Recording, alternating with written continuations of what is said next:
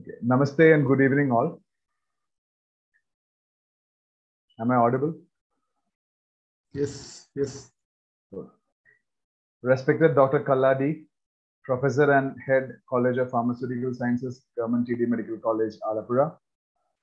Distinguished Speaker, Dr. Alice Poulose, Ambulatory Care Pharmacist, Hamilton Health Sciences, Ontario, Canada. Honorable members in the panel, Dr. Jimcy Mathew, Dr. Abin Chandrakumar, Dr. Vishnu S., respected Dr. Dilip KJ, dear students, respected teachers, colleagues, friends, and my dear fellow pharmacists. On behalf of COPS Global, I extend a warm welcome to all the participants who have joined us today. COPS Global, a collective of pharma professionals graduated from College of Pharmaceutical Sciences, Government Medical College, Trivandrum, proudly presents Pharma Fair, international webinar series in partnership with College of Pharmaceutical Sciences, Government TD Medical College, Alappuzha. Today is the second webinar in the series two, and the topic for today's webinar is roles and responsibilities of hospital pharmacists. This webinar is designed to provide an insight into hospital pharmacy practice, roles and responsibilities, the skill sets required, and of course, opportunities available for students in Canada, Middle East, and in India. First of all, let me invite Dr. Kala D. Kala Madam, Professor and Head, College of Pharmaceutical Sciences, Government TD Medical College, Alappuzha, to inaugurate today's webinar and to deliver the inaugural address. Kala Madam, over to you, Madam. Thank you, Rinjish. Warm good evening to one and all. Pharmacy is a dynamic, growing and increasingly diverse profession which is an integral part of healthcare system. Pharmacists have expanded their role from dispensing to pharmaceutical care by maximizing the benefit of medication and their safety. The profession transformed into a hub for global healthcare and evolved as a multidisciplinary and multifaceted field in recent times. Some enthusiastic and vibrant pharma professional initiated the formation of COPS Global and has been conducting webinars for the pharma aspirants. Their dedication and commitment are really commendable. I am hopeful that in the coming days also, COPS Global will continue to make valuable contribution to the pharma fraternity. Today, we have a dynamic pharma professional, Dr. Alice Poulose is with us. Hearty welcome, dear Alice. Being a part of COPS Global, I am really proud and happy to inaugurate the session. On behalf of Government TD Medical College, Alappuzha, I wish all the participants a memorable day. Thank you.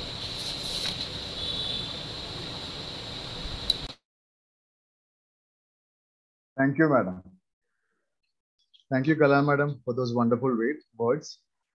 Now, moving on, we'll begin our scientific session without much wasting of time. The main talk is delivered today by Dr. Alice Poulose, and we have three members from three different countries as members of the panel. Dr. Jimcy Mathew, Dr. Abin Chandrakumar, and Dr. Vishnu S. Dr. Alice Poulose is an alumnus of College of Pharmaceutical Sciences, Trivandrum, and she has graduated B.Pharm in 1997 and M.Pharm in Pharmaceutical Technology in the year 2000 from University of Kerala. She moved to Canada in 2002, became a registered pharmacist, and worked in community pharmacy practice for five years before moving into hospital pharmacy. And she has worked in several roles in the hospital, including pharmacist for general medicine, orthopedic surgery, central pharmacy, and adult ambulatory care. In, in the year 2010, she obtained PharmD from University of Florida, and presently she is working as ambulatory care pharmacist, Hamilton Health Sciences, Ontario, Canada. She's an approved clinical preceptor for School of Pharmacy, University of Toronto, and University of Waterloo. I welcome you to this webinar. And now in the panel, first, Dr. Jimcy Mathew. I have great pleasure to invite Dr. Jimcy Mathew. She is also an alumnus of College of Pharmaceutical Sciences, Trivandrum. She graduated MPharm Pharmacy Practice in 2013. Uh, her, her areas of expertise includes antibiotic prophylaxis, antibiotic stewardship programs, and she has also chaired the Pharmacy and Therapeutic Committee. She has been involved in hospital accreditation, including JCI. She has an overall experience of more than nine years in IP hospital pharmacy. Dr. Jimcy has published and presented works in the various international journals and conferences. Presently, she is working as inpatient and sterile compounding lead pharmacist at Danat Al Emarat Women and Children Specialty Hospital, Abu Dhabi, United Arab Emirates. Welcome, Dr. Jimcy Mathew.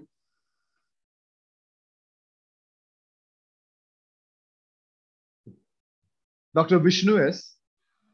is a clinical pharmacist at Amrita Institute of Medical Sciences and Research Center, Cochin.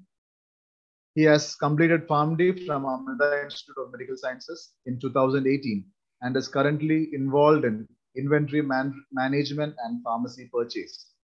His areas of interest include formulary management, specialty drug procurement, drug query management, issue resolution, process evaluation and update, SOP creation and business support for software enhancements. On behalf of COPS Global, I welcome Dr. Vishnu. Next in the panel, we have Dr. Abin, Ibn Chandrakumar. He has completed PharmD from Al Shifa College of Pharmacy, Perinthalmanna in the year 2016. And he also holds a master's degree in pharmacology and therapeutics from the University of Manitoba, Canada in 2019. Pediatric autoimmune condition was his primary area of research during his master's. He, he has articles and editorials published in many peer-reviewed journals. And he is also a recipient of several awards and scholarship. He has received prestigious Governor General's Academic Gold Medal awarded by the Office of the Governor General of Canada to students who, who achieve the highest academic standing at the graduate level in Canadian universities. Abin is currently working as a staff pharmacist at Loblaw Pharmacy in Canada. On behalf of COPS Global, I also welcome Dr. Abin Chandrakumar. So with this, I hand over to Dr. Alice Poulose. Over to you, Alice. Thank you, ma'am. Thank you, Ranjish. Thank you, COPS Global, for this uh, wonderful session. Thank you, Kala Madam, Dilip Sir, uh, Prashant, Manoj, everyone for your great work. Um, and we will move on to the session. Next slide, please, uh, Manoj. So today we are going, these are our objectives roles and responsibilities of hospital pharmacist, discuss the training and skills for a hospital pharmacist, and becoming a licensed pharmacist and maintaining the license. So for all these three objectives, we'll be looking at Canada, Abu Dhabi, and India. Next slide, please. So um, to discuss the roles and responsibilities, I thought we will present a case and then understand what are the roles and responsibilities. So here I have a patient history of the presenting illness is a 70 year old female presenting with fever and shortness of breath.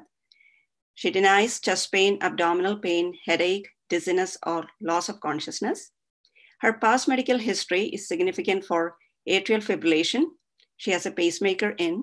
She has a history of hypothyroidism, type 2 diabetes, gastroesophageal reflux disease, depression, chronic kidney disease, surgical history, includes thyroidectomy and arthroscopy of the right knee.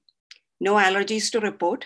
She lives with her son and denies recreational drug use, smoking, or alcohol use. Next slide, please. Here I have the labs. Um, the serum creatinine is 1.8. Creatinine clearance, 27 mLs per minute. BUN is 22. Lytes are, are within normal limits. Blood glucose is 140.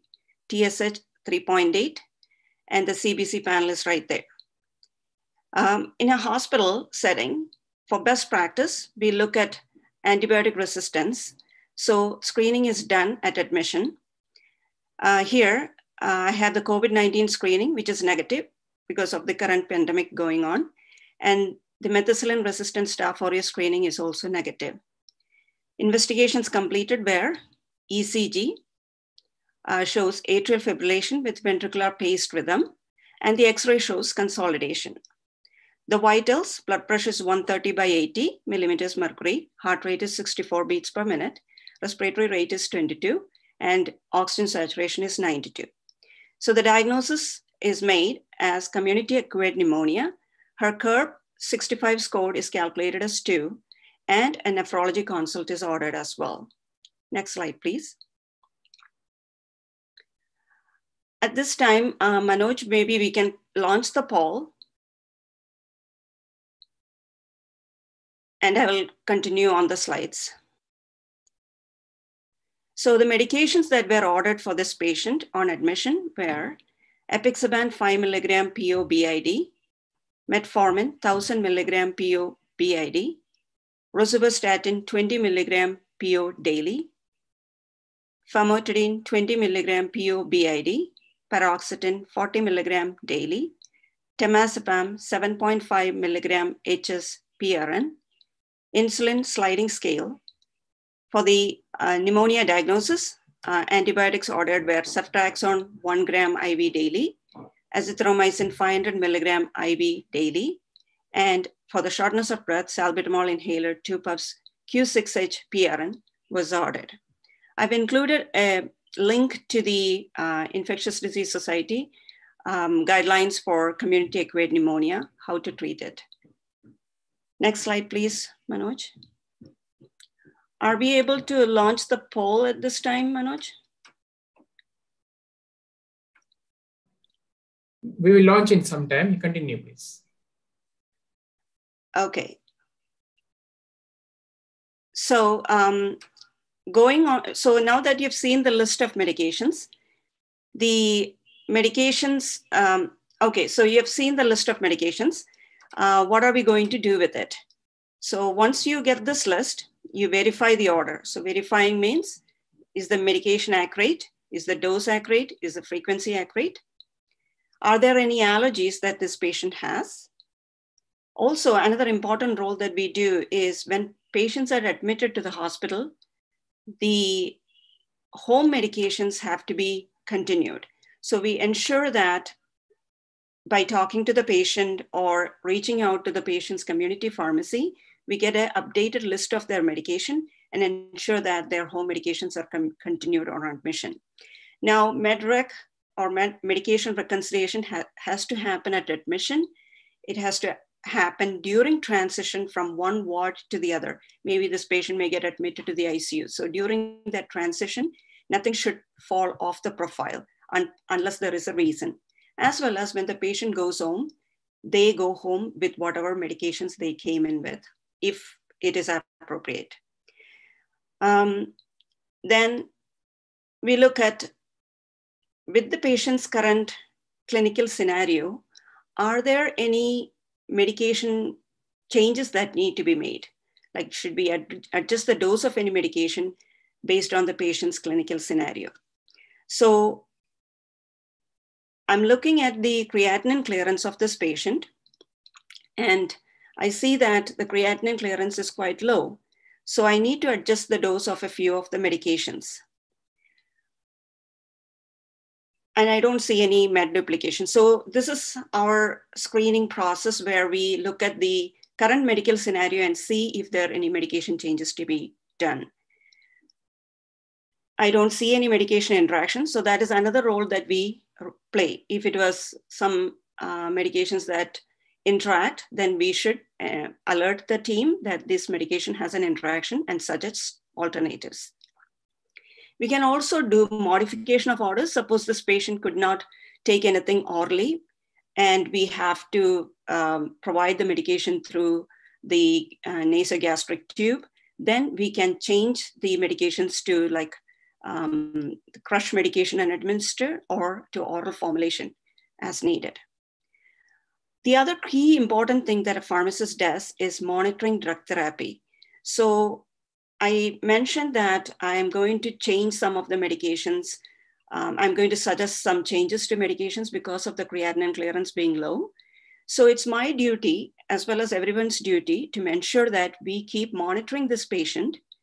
And uh, if the creatinine improves, then we have to get the doses, medications back on profile or change it back to the original dose of the medication.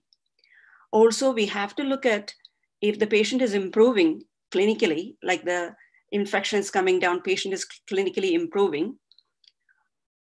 Um, okay, I see the poll questions here. So you can go ahead and um, give your answers there. So uh, monitoring of the patient, I will continue. So I'm looking at the patient, she's getting much better. Her white count is coming down. She's improving. Her shortness of breath has improved. She's not using this salbutamol inhaler anymore. So uh, one of the antibiotic stewardship program is we are ensuring um, the, the safe administration of medication. So she is on IV antibiotics. We will be changing it to PO now that the patient can is much better. And the patient probably can be discharged um, and with the PO medications.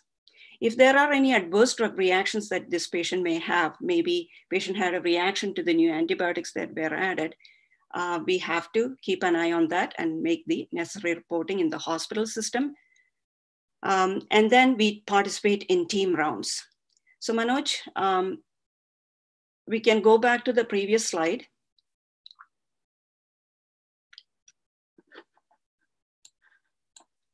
So with these medications, I'm just going to give you what I was going to do. So the apixaban, the dose seems to be high for the creatinine. So I'm going to reduce the dose. I'm going to hold the metformin. The rosuvastatin can continue. I'm going to reduce the dose of famotidine. Um, I'll continue the paroxetine, temazepam, the ceftriaxone and azithromycin seems appropriate for community acquired pneumonia, so it will be ordered and dispensed as it is, and salbutamol can continue. I also see that there is a medication that is missing from the patient's home medication. So when we look at the past medication, medical history, patient has a history of hypothyroidism. So I want to make sure that uh, is this patient on levothyroxine or not? So I will communicate or um, reach out to the community pharmacy, get a med list and see if the patient is on those medication. Okay, so now we can move on. And do we have the answers to the poll or? Manoj? Yes, Alice, I think uh, the most answered question is uh, some medications need dose adjustment. Excellent, that's great. That's what I wanted to hear. Good job. Okay, so we'll move on to the next slide.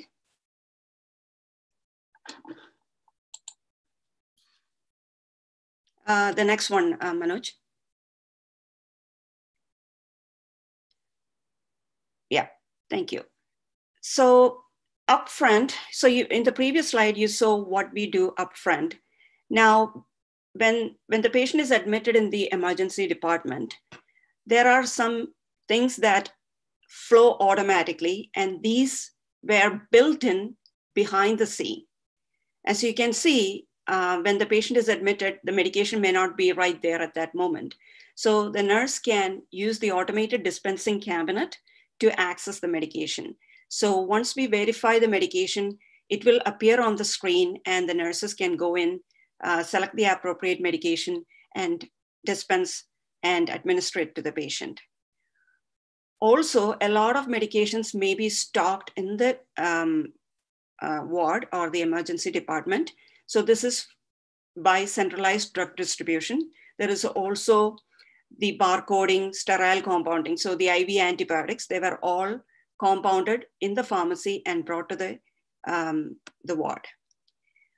There are also guidelines and protocols for safe administration of medication. So when the nurse is going to administer that IV antibiotic, uh, she may have some questions about can, can I, what is the rate at which I can administer or what are the side effects that I have to watch for. So we develop IV administration monographs, which are readily available for the nurses to refer and use. Also, we have infusion pumps, which they can run the uh, IV antibiotics. So it has a library in it, which has the drug name and uh, the uh, dose and what is the uh, recommended rate of administration. So if there is, if the nurse uh, accidentally punches in the wrong um, rate, there are guardrails which are also remotely set in in the infusion pump so that they don't make any mistake. Also, suppose the patient is admitted for like a coron, uh, like um, um, ACS or heart failure, we have developed order sets. The order set has a list of orders for the nurses to implement. So it's all the orders in one place so the doctor doesn't miss any of the things that have to be ordered at that time. For, for example, heart failure, all the medications that need to be uh, started on a patient that is coming with heart failure. What are the vitals to be done? How frequently it is to be done? The fluid intake and output, uh, recording of that, um, uh, labs, what are the labs to be done. So all this is compiled into one set. So how this is developed is the physicians, the nurses, the pharmacists, pharmacists focus on the medications aspect of the order set. So we uh, sit together, put it together, then we submit it to an order set committee who, um, after they have reviewed it, approve it, and then it goes to the pharmacy and therapeutics committee who will again review it and approve it. So now that it is available, the physician can just pull it out and fill it out and put it on the chart or uh, do a computerized order entry. So it will be all set and no, none of the things are missing. So I have just, next slide, please, Manoj. Yeah, I just have a picture of the automated drug dispensing unit and the infusion pump. So as I mentioned earlier. So the automated dispensing machine, the advantage of that is that if there is a medication error, we can see who went into the um, or logged into that uh, under which patient and what medications they had accessed. So everything is monitored. And this is very important, especially in narcotic medications. We can track if there is any drug diversion that is happening. So with this, I'm going to now, so this is a general adult patient admission. And this is what mostly all the pharmacists working in a hospital, like in um, where patients are being admitted or transitioned to different wards do. Now, um, to be more um, in, uh, in depth, we, I will call on Jimcy K. Mathew to um, explain about the role of a neonatal ICU pharmacist. Jimcy, please take on. Good evening, all. Am I audible? Yes, you are. Okay. So, good evening, one and all. Thanks to Glo- COPS Global for this wonderful platform and thanks for this wonderful webinar. So going on with the next slides, as a neonatal IC, uh, pharmacist, I would like to explain to you few more responsibilities that the other ones that Dr. Alice has been mentioned in the previous slides that what else a hospital pharmacist is doing in a neonatal ICU what are the roles and responsibilities a neonatal ICU, uh, ICU pharmacist is playing uh, next slide so here I'll explain to you same like a case scenario in a neonatal ICU as a pharmacist which we are encountering in our day-to-day -day practice. We received an extreme preterm baby of 26 plus 2 weeks having a body weight of 750 gram. Baby has been diagnosed with mild tachypnea, respiratory distress and cardiomegaly. So here comes the treatment plan from the neonatologist that the baby has been screened for sepsis baby has been commenced with ampicillin gentamicin which is the prophylactic antibiotic for premature babies based upon the body weight. Then the next order from the neonatologist is to start caffeine as a treatment for apnea in premature babies with a loading dose of 20 mg per kg over 30 minutes of an infusion over 30 minutes. Then the baby needs to start with D10 at 100 ml per kg per day so all these parameters which the neonatologist has been prescribed based on the recommendation from the pharmacist. So this is the area which we are focusing. Other than the appropriateness of an order set or other than the routine responsibilities the hospital pharmacist is doing, what are the roles or what else we can do as a pharmacist in a hospital setting? Okay, so uh, Manoj sir, can I have the poll question please?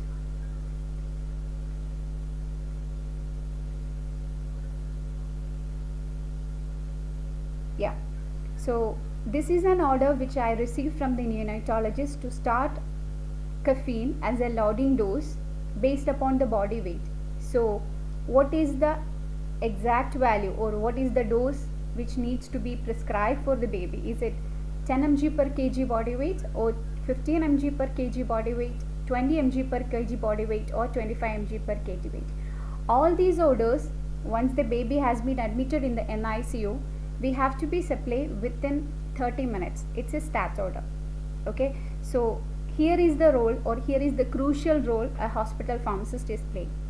So once the order has been placed by the doctor, comes to the appropriateness review from the pharmacist. If everything is within the range, the next is going to the sterile compounding pharmacist. So, who is a sterile compounding pharmacist? What is the role of sterile compounding pharmacist in a hospital setting? Next slide, please.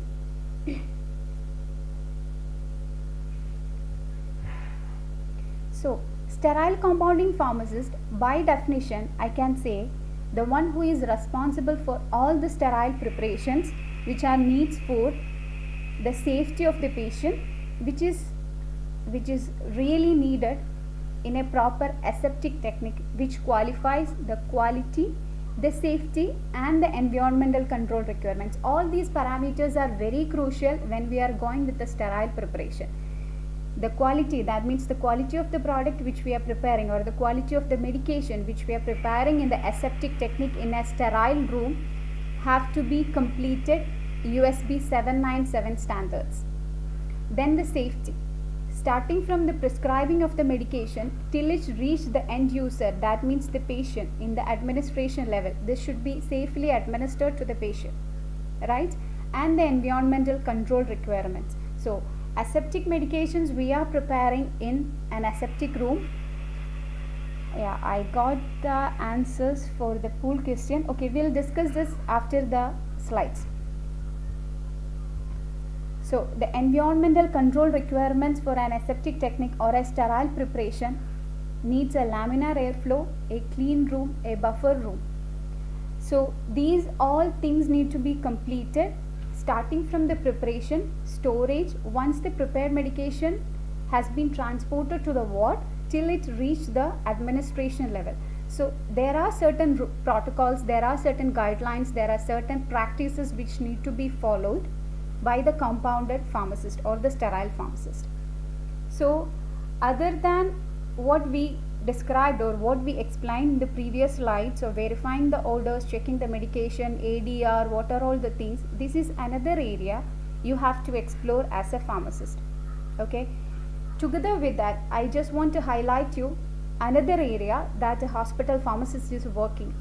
Can I have the next slide please?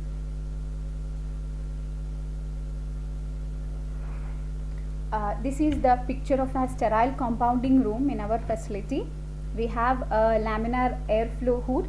We have the buffer room and we have the clean room in which we are preparing the aseptic uh, preparations. For example, the IV antibiotics, the IV fluids, uh, the total parenteral nutrition which I will discuss you later on the slides. This is the aseptic room which we are preparing. Uh, the next slide please. So this is another area in which a hospital pharmacist is working which is the nutrition support pharmacy. This is a vast topic. I will just briefly explain to you the main points what is nutrition support pharmacy or what are the what is the role of a nutrition support pharmacist in a hospital sector. So nutrition support pharmacy addresses the care of patients who are receiving specialized nutrition support it can be a pediatric patient, it can be a geriatric patient. I will explain to you what are the conditions in which a parenteral nutrition has been prescribed to a patient. Okay. So this, this kind of support system promote the restoration of the nutritional status through the design and modification of the individualized. This will be a customized treatment or this support will be depends upon individual patient. This will be uh, changed from day to day values or the day-to-day blood values So nutrition support pharmacy provide direct patient care including the patient assessment. For example, in a preterm baby, at the time of admission itself, we will check the blood gas level, we will check the blood sugar level, we will check all the blood parameters of the patient and we will assess which type of feeding is required for the baby. Which kind of access need to be prepared for the baby to provide the nutritional support. Either it can be a central or it can be a peripheral system and we need to monitor and we need to adjust the dose if necessary or we need to provide the nutrients which is really needed for the baby. And identifying in some cases for example in some kind of uh, geriatric patient or in some kind of bedridden patient some kind of deficiencies that there so that time also we are providing this kind of nutrition support through pharmacy. And ensuring that whether the parenteral and enteral feeding formulations are properly prepared this preparation part is the crucial part or this is the vital role a pharmacist is playing in the preparation of nutrition or in the preparation of total parenteral nutrition. Uh, can I have the next slide please? So what are the indication? Not every patient really need a parenteral nutrition. What are all the major indication in which a doctor is prescribing a patient on parenteral nutrition? First one, when the normal oral feeding is not possible. That means if the GI tract is completely blocked or we have to bypass the GI tract and we have to provide feeding to the patient, this is the primary indication whether a patient needs a parenteral nutrition or no. When food is incompletely absorbed in kind of major burns or surgeries or the patient is on chemotherapy, in that cases also patients are on parenteral nutrition in some cases if the patient is having any kind of bowel syndrome we cannot give the feed orally. Then in the patient is unable to ingest the food or some kind of home bedridden patient for example in a kind of uh, long term facility if the patients are there or some kind of psychiatric patients that they are refused to do uh, refused to take the oral feeds we have to start the pa patient with parenteral nutrition and also some kind of patients after surgery they have to go for NPO for 5 to 7 days we have to initiate parenteral nutrition. Can I have the next slide? So briefly I will tell you what are the main components of parenteral nutrition. First of all water, sterile water for injection, carbohydrates in the form of dextrose, proteins as amino acid, fats like intralipid, vitalipid 20 percentage to 50 percentage we are supplying electrolytes which is very important especially in case of preterm babies. Potassium sodium calcium magnesium which are all the elements which are needed to sustain the life we have to provide this through the parental nutrition and the vitamins and trace elements. So these are all prepared in a special formula and this need to be administered to the patient either through peripheral route or through central route in a proper rate of infusion so here comes the role of a pharmacist in the preparation of total parenteral nutrition. Can I have the next slide please? This is the order set of a parenteral nutrition. Okay, you can see in the top the demographic details of the patient. For example, uh, what is the calculated body weight of the baby, current birth weight of the baby, how many days the baby is on parenteral nutrition, how many days the baby has been born, so these are all the factors which we need to make sure that these are the values we have to provide for the baby to start the parenteral nutrition. So in the left side you can see the doctor's orders of all the micro and macronutrients per kg body weight of the baby and this will be calculated per 100 ml values also. At the same time, there are some additives also we will add into these micro macronutrients. For example, you can see in the right hand side heparin.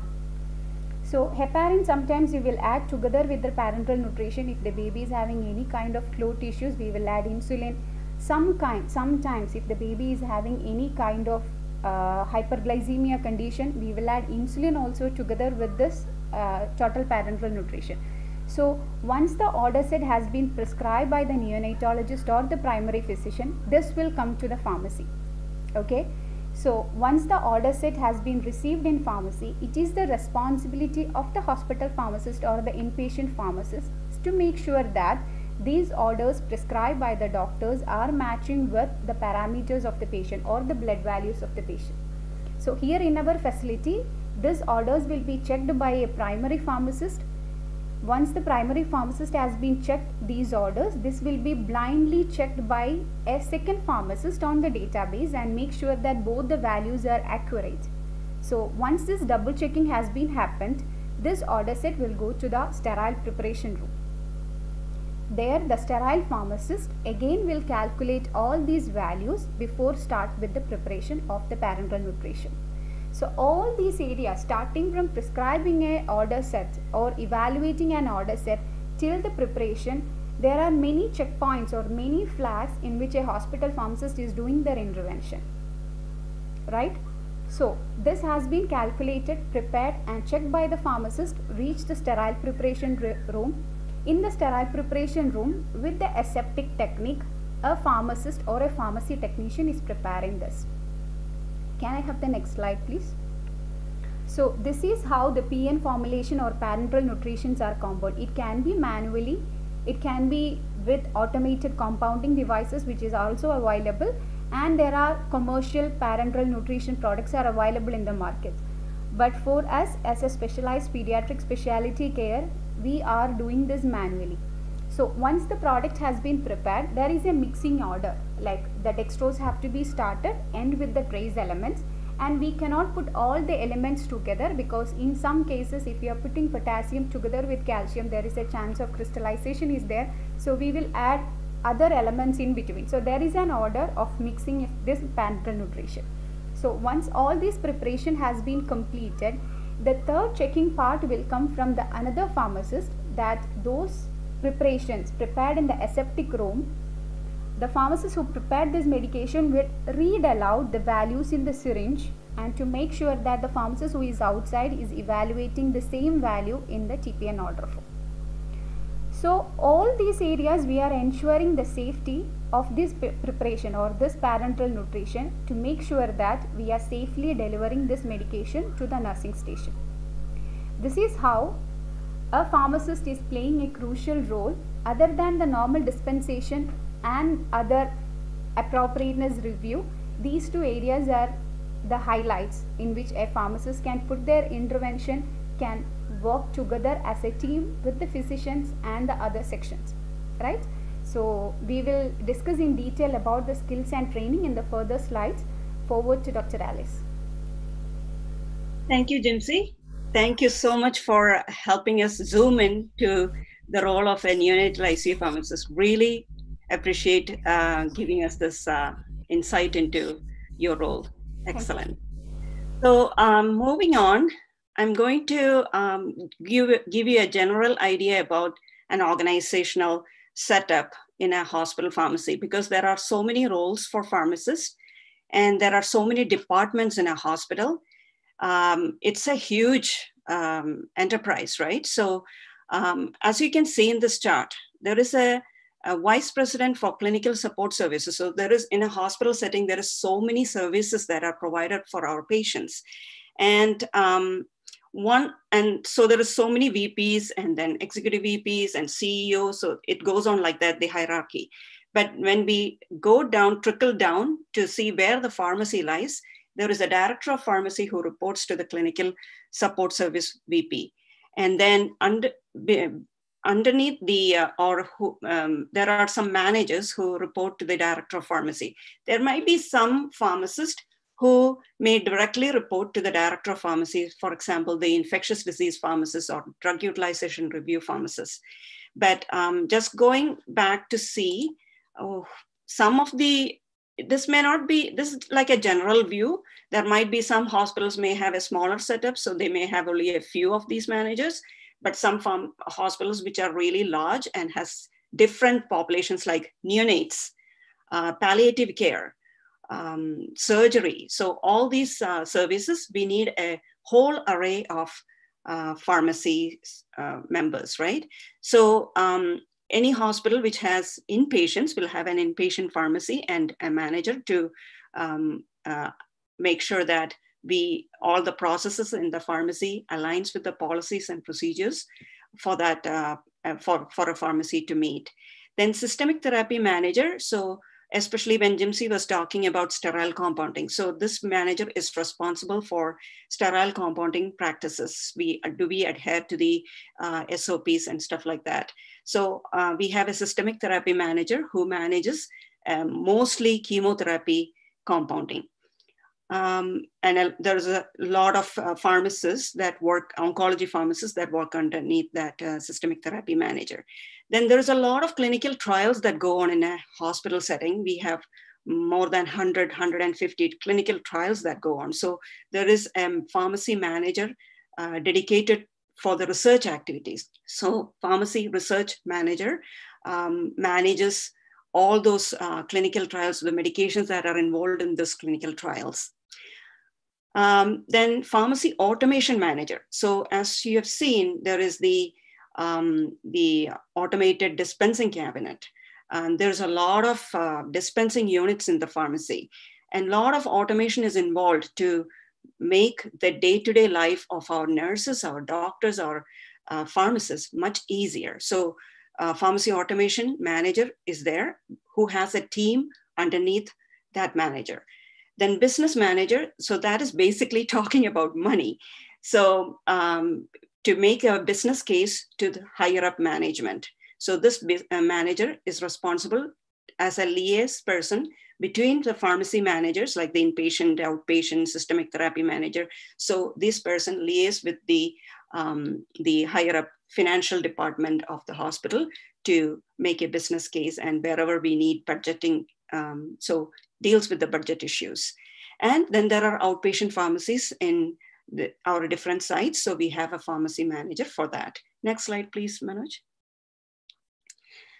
Um, so as I said, so many different roles for pharmacists. So clinical pharmacists for the different wards in a hospital.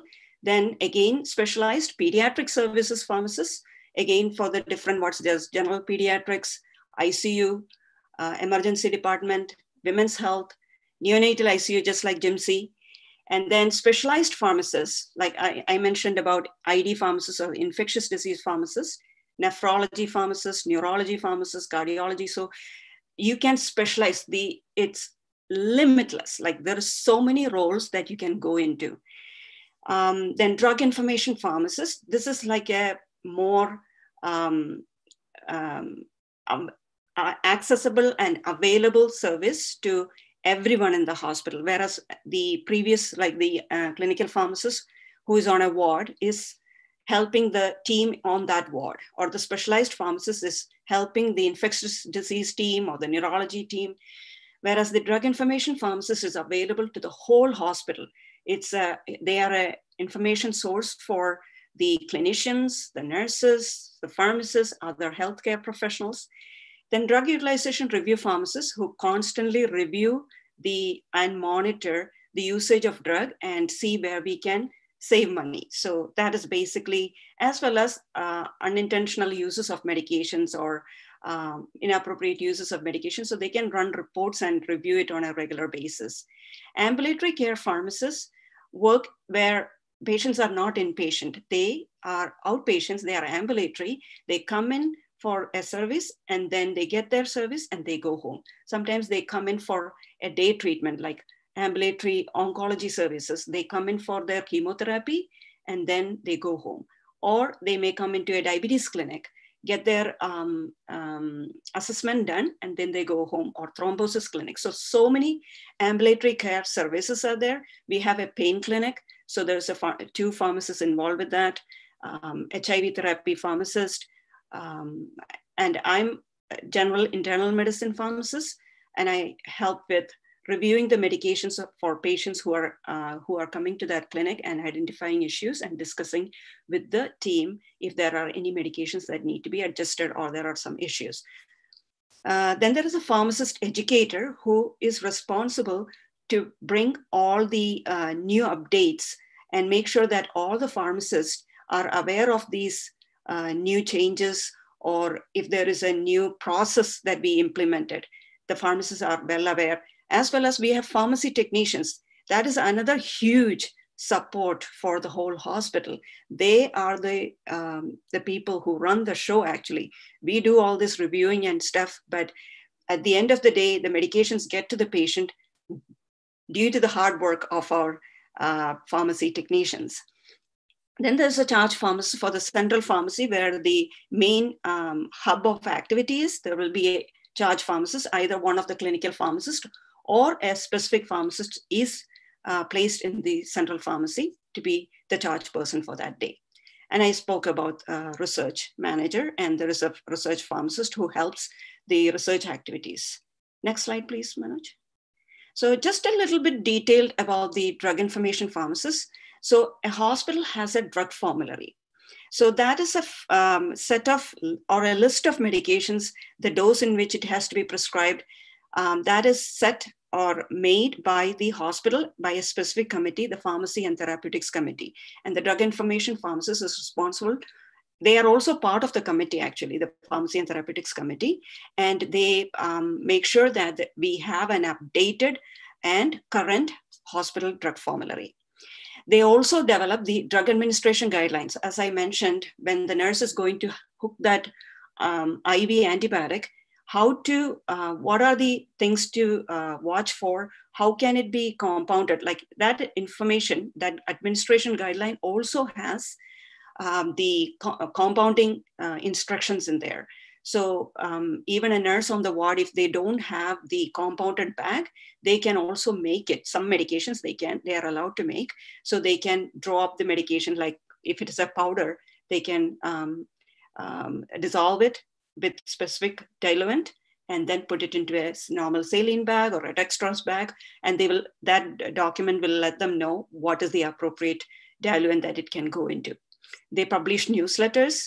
They also uh, give alerts on a regular basis and we are having a lot of drug shortages right now. So we can see daily email blast from uh, drug information pharmacists uh, letting us know alerting us there that we are having shortages. So please conserve your use of these medications. The next available date for this medication is like in two months or three months. So we have to be very proactive in um, making sure that we conserve our resources um, i mentioned about the infusion pump guardrail and then drug information pharmacist is a resource for everyone in the hospital. Next slide please manoj. And a word about the antimicrobial stewardship program. Uh, I briefly hinted on this uh, when we talked about the uh, patient who came with the pneumonia. Um, now, antimicrobial stewardship program, it is uh, comprises of ID physicians, infectious disease physicians, infectious disease pharmacists, and a lot of collaborators are there. If they are working with the ICU team, the ICU pharmacist is part of that team.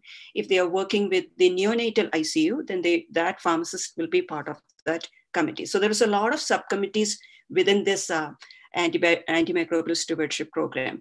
So the whole goal of the antimicrobial stewardship program is to make sure that we make the right choice of the antibiotic. We have the right dose of the antibiotic. We have the right route of administering the antibiotic. And we have the right duration of the um, antibiotic that we give to a patient, like five, week, five days or six weeks, depending on the particular infection that we are trying to treat. That way, we are avoiding the emergence of drug resistant organisms. As, as you might have noticed, like in the beginning, we, we screened for methicillin resistant staph aureus because that is a huge issue, right? Like when we have resistance developing, our choice of antibiotics is coming down. Like we can't use a lot of antibiotics that we can commonly use when there is drug resistance. So the whole goal of the antimicrobial stewardship program is to ensure that we use medications, the antibiotics especially, in a safe manner for just the appropriate period of time and the right dose and the right route. Because especially when um, when we have um, IV access, we are breaking the barrier and we are increasing the risk for infection. So as soon as a patient can tolerate oral therapy, we will convert them to oral treatment. So those are some of the things. Um, so basically, for a better outcome for our patients, they don't suffer the toxicity, their, uh, their infection is cured at a faster rate, and we treat that infection with the appropriate antibiotic. Um, they also do um, uh, sensitivity testing, right? Like they take, like if a patient is coming with an infection, they take blood samples, they look at the, um, the uh, microbiological testing to see what that uh, bug is resistant or sensitive to. And we can narrow down and some, most of the time, we may start with an empirical therapy and then we, once we know what drug it is, uh, sorry, bug uh, that this patient has, we can narrow down and just use that particular uh, antibiotic that will work for that patient. So we can reduce the use of broad spectrum antibiotics. Um, so the other committees that pharmacists play a role, um, I mentioned, briefly mentioned about pharmacy and therapeutics committee, then medication safety committee. So it can be in different ways. Uh, chemotherapy and hazardous, hazardous drugs committee, pediatric medication safety committee, code blue committee. The basic uh, role of these committees, these are all, there are so many committees in a hospital because it's a huge enterprise, but anything to do with medications, the pharmacist will be a huge chunk or a huge population of that particular committee. Basically, these committees ensure that the medication from its procurement, storage, dispensing, prescribing, dispensing, monitoring, monitoring of adverse drug reactions, everything these teams will closely watch um, these um, processes in a hospital. Next slide. So I think I've mentioned uh, this, um, and if we have any uh, questions, we can uh, have it in the question and answer session. Um, but maybe just a few words on the Pharmacy and Therapeutics Committee. Um, so this is again uh, this committee comprises of physicians, nurse practitioners, nurses, and a huge uh, pool of pharmacists. And um, they are a subcommittee of the Medical Advisory Committee, which is the topmost committee in the hospital, which approves all the policies, and that becomes the practice in that hospital. So um, the Pharmacy and Therapeutics Committee, as I mentioned, they, um, they, they are responsible for adding a medication to the drug formulary. The hospital has a drug formulary, right? So uh, any medication that needs to go on this drug formulary, that particular physician, they want to add this medication, they will make a submission along with the his team pharmacist. So they will provide the evidence. And once this comes to this committee, this committee is going to deliberate on it. Okay, this doctor has asked to add drug A to this formulary, and this is the evidence that they have submitted. So they will review all the evidences, all the clinical trials that support the use of this drug in the hospital and is it cost effective is it effective for the treatment? Has it any toxicities? And what is the evidence? Is it a very strong evidence uh, that we compels us to add it to the drug formulary so once it is, uh, they are happy with the um, evidence that is uh, approved, uh, provided, as well as the evidence is uh, like it's a randomized control trial, and there's so many randomized control trials uh, which support the use of that drug. Definitely, they will add it to the uh, formulary. Um, sometimes may, some drugs may get obsolete, and they can remove that from the drug formulary. Sometimes a patient is like in an acute situation and admitted to a hospital, and they need like um, a medication that needs to be approved at that moment. So it's not on the formulary. Again, uh, that physician, treating physician, along with that pharmacist, will make a submission. Uh, this is urgent. This way, we can treat this patient. This is the evidence behind our recommendation to use this medication. And um, uh, once they provide that, there are emergency sittings of the pharmacy and therapeutics committee and approve that particular treatment for that patient. So sometimes non-formulary medications uh, may get emergency approval for certain cases.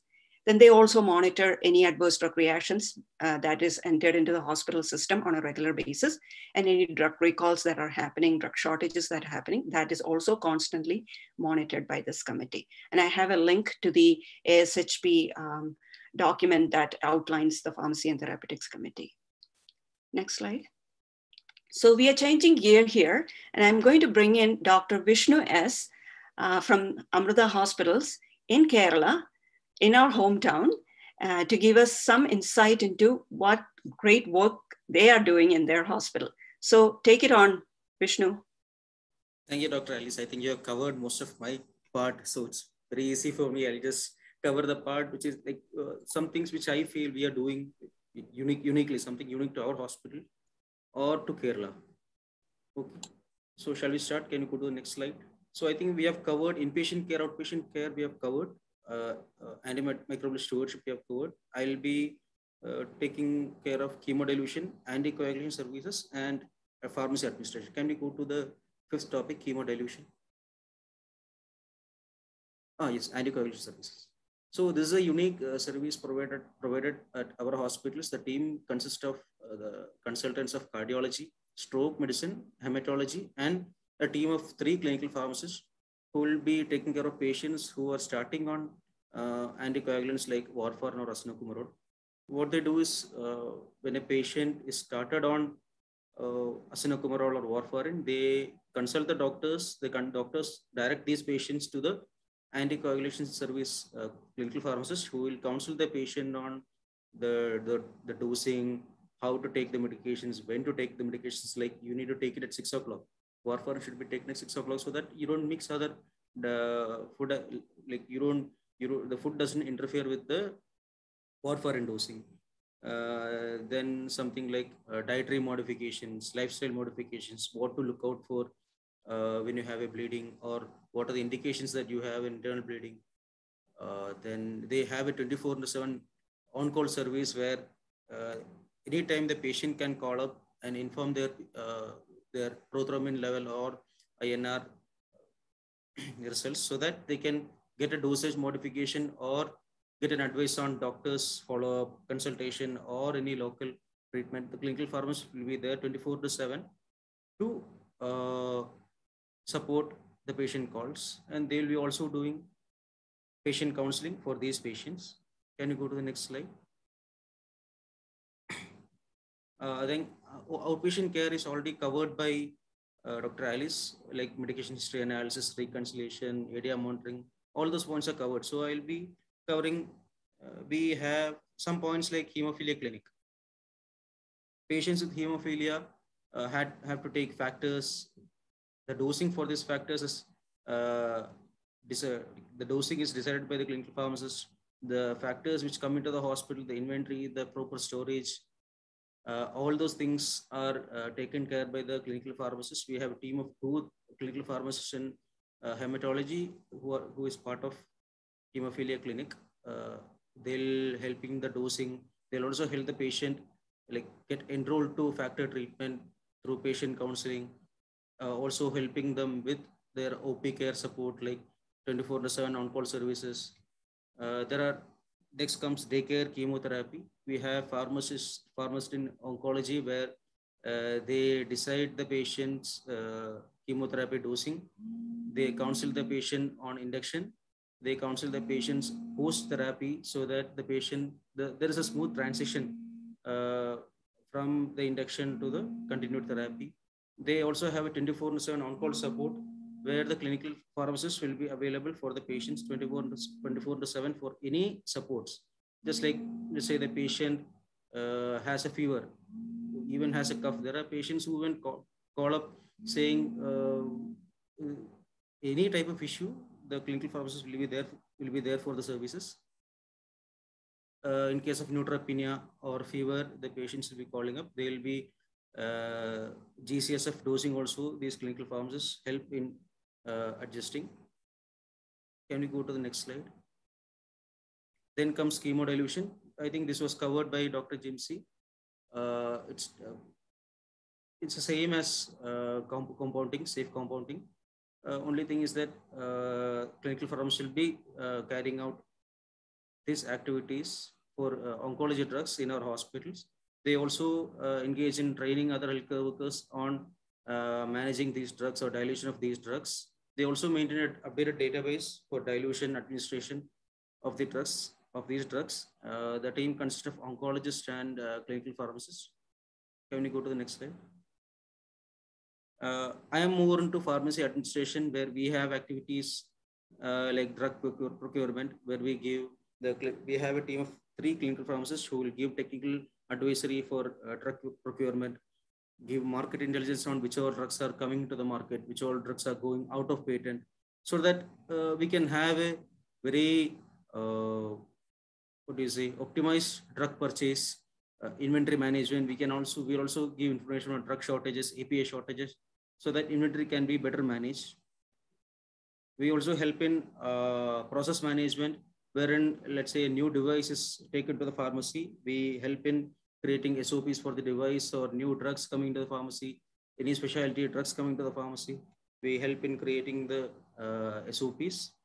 We also help in defining uh, operational standards. We have training sessions for the pharmacists, on-job training sessions for the pharmacists on uh, insulin, insulin dosing, insulins, uh, then uh, inhalers, all those kind of things where the pharmacists need to uh, explain to the patients, let's say spacers, all those things that the new pharmacists will need training. We also help in their training. We are a part of formulary management team. There is a PTC committee. We also help in marketing. Uh, issue resolutions and uh, product recalls is already covered by uh, Dr. Alice. So we'll go to the next slide. We have a team of five pharmacists who are taking care of hotline services.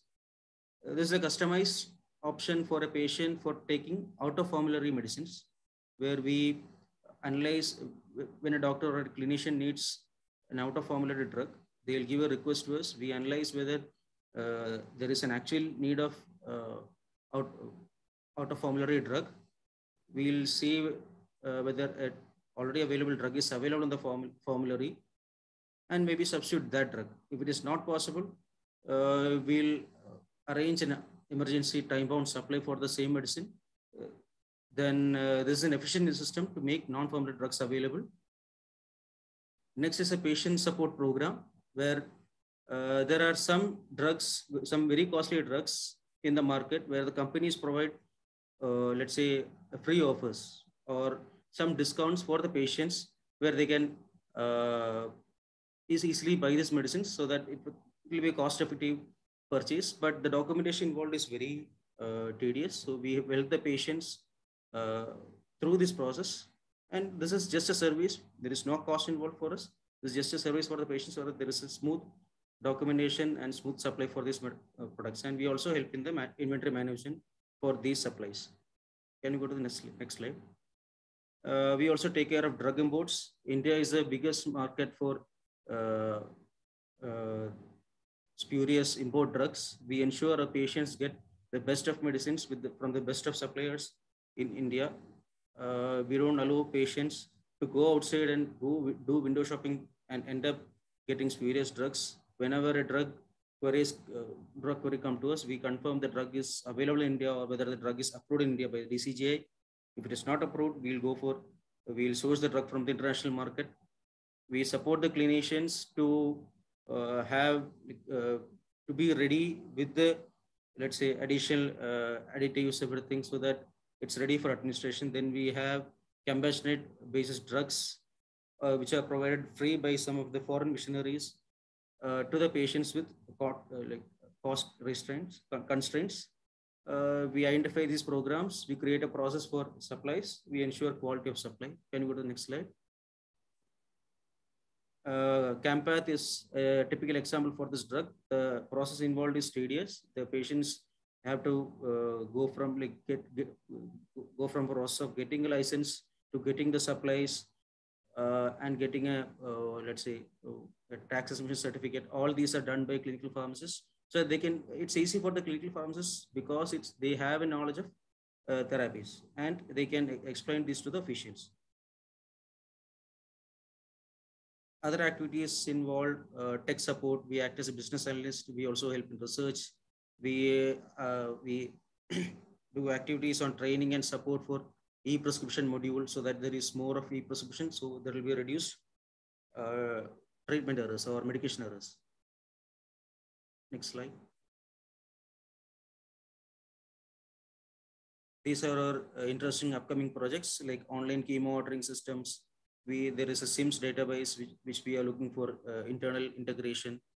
Uh, we are also looking at online pharmacy presence. And these are activities for clinical pharmacists.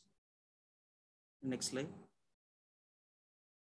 Uh, so in our profession, what I feel is connecting to key people, building a professional credibility, and engaging in outreach activities is the best way to uh, like feel inevitable in a department. So can you go to the next slide?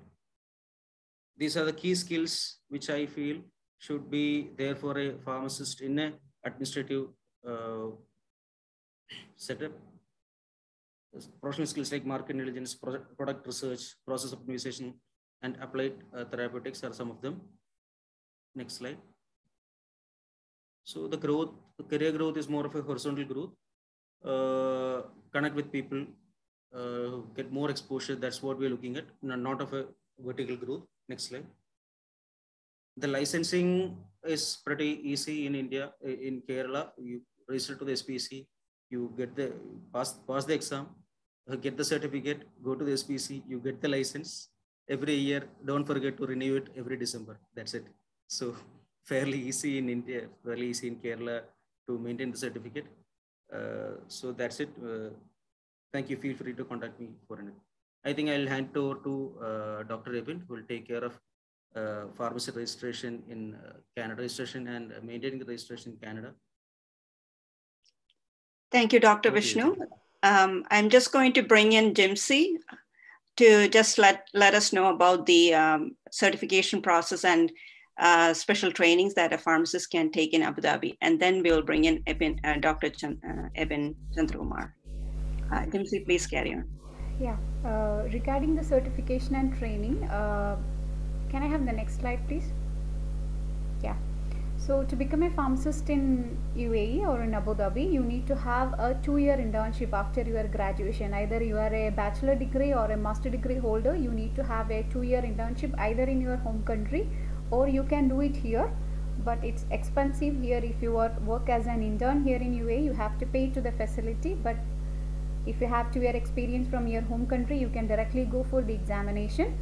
Then depends which type of facility you are working you can just upgrade your standards and your training and uh, renewal will be on every two years. But in order to renew your license here in UAE you need to complete 40 CME hours. Without 40 CME hours you cannot upgrade or you cannot renew your license.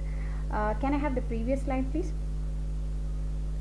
so specifically for the sterile compounding preparation pharmacist uh, there are so many kind of trainings available the first one which I have to mention here is the American Society of Hospital Pharmacists in which they are providing all kind of sterile preparation certification and training. You can do it online. I just mentioned the link here. And together with that, there is board of specialty, pharmacy specialties. The BPS, they have uh, a wide variety of specialization available. Uh, for uh, sterile compounding pharmacists, you have the uh, board certification then for the nutritional support for the total parenteral nutrition and other kind of nutrition support you have the board certification for nutrition support then they have oncology ambulatory chemo uh, it's a variety of uh, certification available in uh, board of pharmacy specialities and aspen which is the american society of parenteral and enteral nutrition so all these resources are easily available in the website. Just go through that and if you want to specialize in any particular area other than the normal pharmacy dispensation and the appropriateness review you can just specialize in whatever uh, profession which you want to increase your uh, you know uh, like your knowledge or upgrade your skills. So that's it from my side Thank you, Dr. Jimcy. And now I will call uh, Dr. Abin Chandrakumar to give us some insight into how to get a license in Canada and how to um, go about with that process. Uh, Dr. Abin Chandrakumar, please. Thank you, Alice, and other speakers for their wonderful sessions. So the topic that I'll be discussing is um, how to get licensed as pharmacist in Canada. So uh, Alice, can you move into the first slide? Thank you. So Canada, it's a vast and diverse country. It is the second largest country in the world, as a matter of fact, and it is comprised of 10 provinces and three territories. So the pharmacist licensure in Canada, it's uh, provincially regulated, which means that uh, the requirement, uh, it varies from province to province. And as an international pharmacy graduate, uh, to obtain license to practice uh, in Canada, it involves multiple steps. And PEBC, uh, the Canadian exams, it's known as the PEBC examinations, uh, primarily because the exams are conducted by the Pharmacy Examining Board of Canada, which is a national certification body for the pharmacy profession in Canada. And uh, PEBC, it has uh, as its constituent members is participant, uh, participating provincial regulatory authorities and uh, on their behalf, they con- PEBC conducts the exams and assesses qualification of uh, pharmacists as well as pharmacy technicians uh, to ensure that uh, those who are entering the profession has the necessary skills, competencies, and clinical knowledge. Uh, next slide, please. So these are the series of steps that uh, need to be completed before getting licensed as a pharmacist in Canada. So the initial steps, uh, starting with pharmacist gateway enrollment, document evaluation, evaluating exam and qualifying exam part one and two.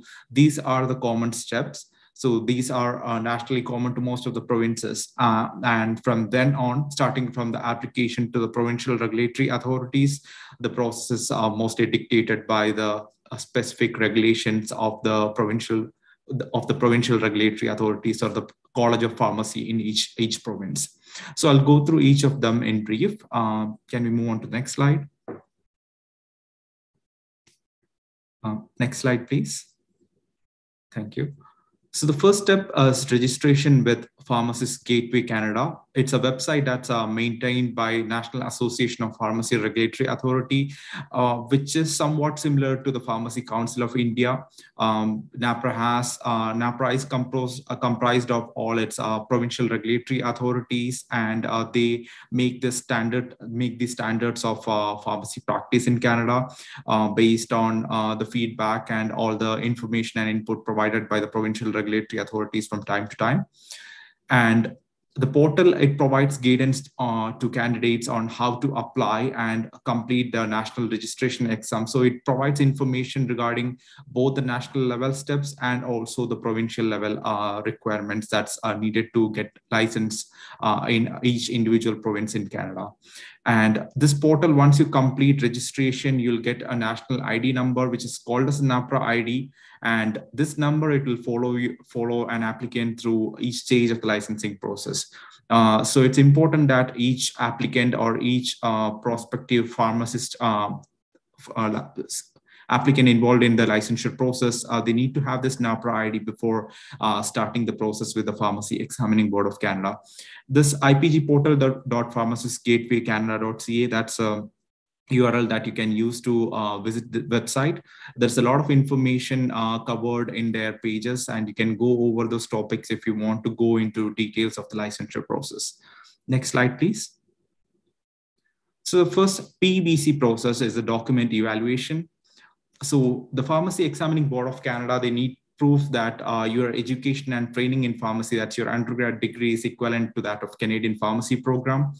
And uh, therefore, uh, they need to see the uh, proof of your graduation or uh, your transcript. So either a degree certificate or a degree transcript can be provided to the PEBC.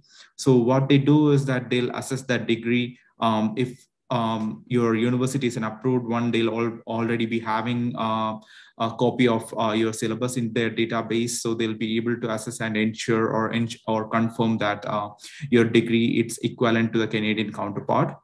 So uh, the minimum requirement uh, to apply for document evaluation is completion of a four-year undergraduate degree in pharmacy. Uh, so irrespective of whether you have completed a BPharm or PharmD, you'll be eligible to apply for farm, starting the pharmacist licensure process in Canada. So once you complete um, the entry of details into the PEBC portal, um, they'll generate a form for document evaluation. So that form, uh, it will contain all the information that you uh, input, including your uh, details, your academic information, and also your current licensure status in India. Uh, and it'll generate that form, which needs to be properly certified. So it needs to be signed by you in front of a approved um, notary or a commissioner of oath and other documents that needs to be sent along with this one as a notarized copy of your passport a passport accepted photo which which should have been taken within the last one year. In addition to that these these are the things that you'll be sending by post from your end. In addition you'll be applying to your college or university to get a transcript um, and also apply to the state pharmacy council to get a good standing certificate from their end. So each of these things, that's a transcript as well as the GCS, uh, it'll be uh, the good standing certificate will be sent by the university and the state pharmacy council respectively directly to the PEBC. It won't be uh, provided to you and you should not be the one who is sending it. It should go directly through these organizations. So uh, PEBC, they will evaluate all the documents that you're submitting. And uh, if everything uh, looks okay to them, they'll approve it and they'll provide you with a certificate of uh, completion of document evaluation. And once the document evaluation is completed, that certificate it's valid for five years. So uh, it's important that you complete all the steps, uh, the PEBC steps and your licensure process within the five years from the approval of your document evaluation. Next slide, please. So first examination that you'll be writing is the evaluating exam.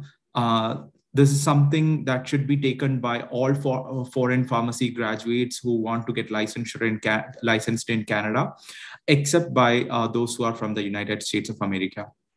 So uh, you can start applying for the evaluating exam uh, as soon as your document evaluation is uh, successfully completed.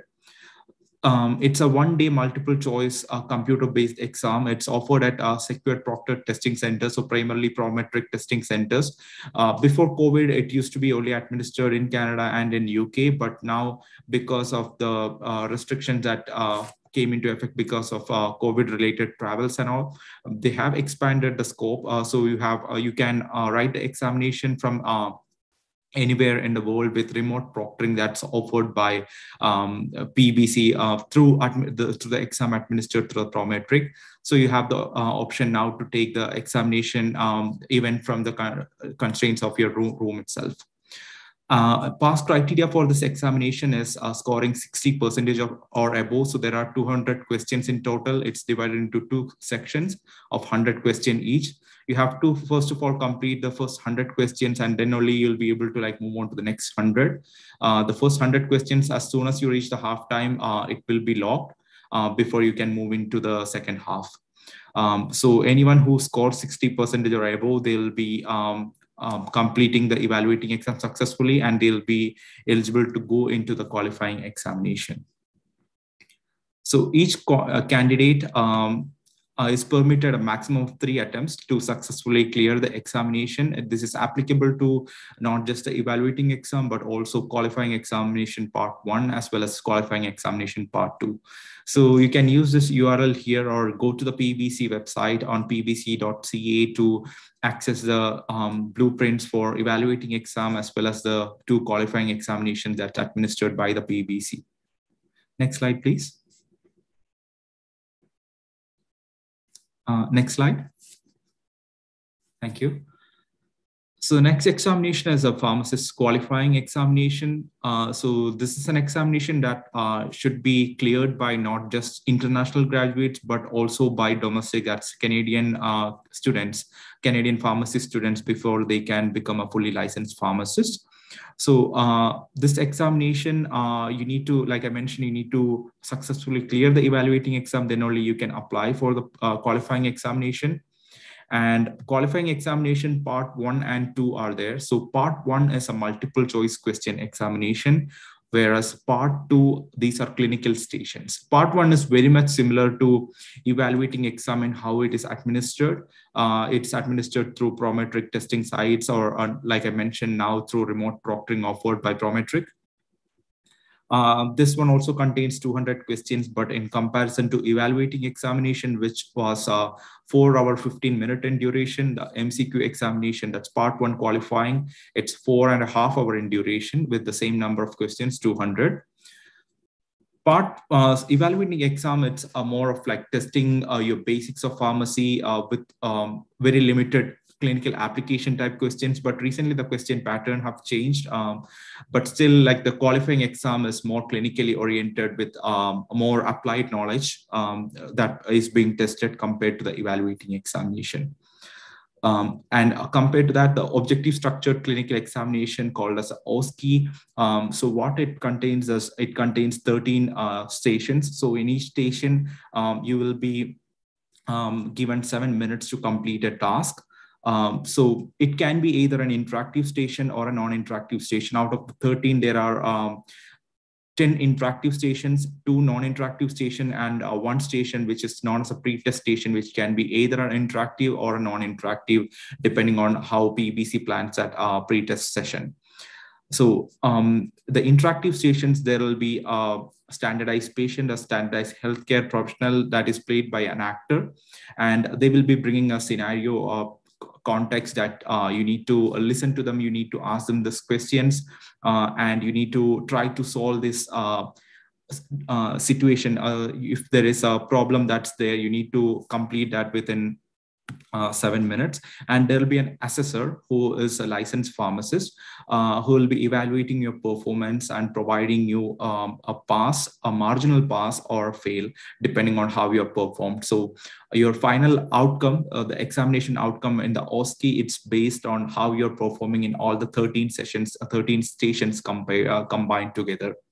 Compared to that, MCQ, um, unlike evaluating exam, which had a 60 percentage uh, cutoff criteria, MCQ as well as OSCE, there is no certain criteria that has been predefined as part of fail, pass or fail. Uh, so each examination, um, the cutoff criteria for pass, it will vary depending on the uh, difficulty level that was set for that examination because it's application type questions um, it's uh, important because each question each clinical application uh, kind of scenario it can be different in terms of their difficulty level it's important that uh, they are gauged by um, like evaluators before uh, ensuring what is the cutoff for each individual to pass an exam. Uh, each student might be getting a different question paper, even if they're sitting in the same examination session.